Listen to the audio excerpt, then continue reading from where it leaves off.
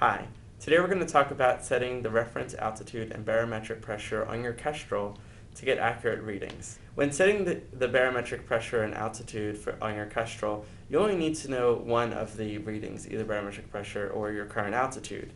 Um, and which one you set depends on what kind of an application that you're using the Kestrel for. If you plan on tracking for the weather, you're gonna and you care a little bit less about your effort elevation, you want to set the reference altitude. To do this, you'll need to go you'll need to go into the barometric pressure uh, reading and press the enter button. From here, go down to reference altitude and you can set the reference altitude by going left and right to increase or decrease this value. The units are going to be in the same units that they are in your Kestrel, either feet or meters. When you're done with this, you can hit the enter button again to exit and you've set your uh, reference altitude. If you plan on tracking your elevation, it might be a better idea to set your reference bar barometric pressure. To do this, you want to go to your altitude screen and click on the enter button to set your reference.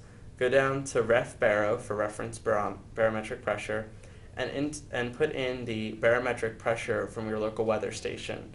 Note that you want to put in the sea level adjusted pressure, not the station pressure, which is unadjusted for sea level. Once you've done this, you can press the enter button again to exit, and you will have corrected them.